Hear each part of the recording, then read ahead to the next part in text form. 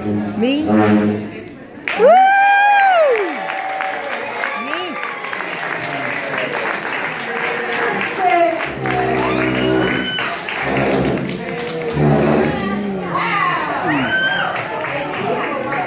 Woo!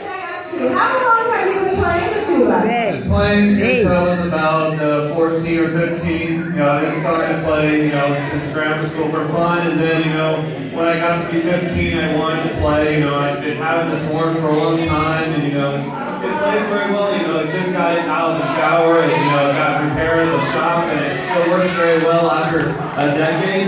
You know, or two, it's two decades old. It's a late 90s horn. It still plays well. Had a couple of accidents with it, but it still plays well. I'm hoping in the future it will still work. Just you know, a few, weeks ago. It still works. Harrison, I hear that this is not your only tuba. How many tubas do you own?